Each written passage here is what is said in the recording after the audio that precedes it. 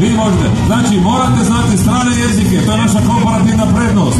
Jer možemo probati isti ovaj tekst na, ne znam, na njemačkom. Može? Znači, samo oštro, na njemačkom. Za mnom. La la laj, laj, laj, la la laj, laj, laj.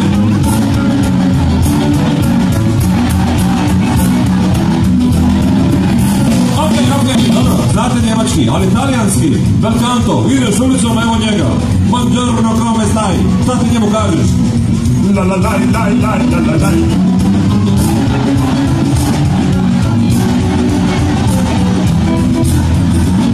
E, dobro, sve smo riješili. I sada, na razgovoru u župnom dvoru, veli meni jedan vaš svećenik da ima sve više više kineza Ni- u njegovoj župi, da?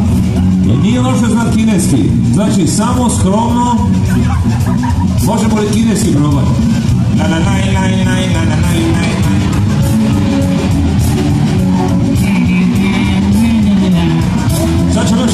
Thank you.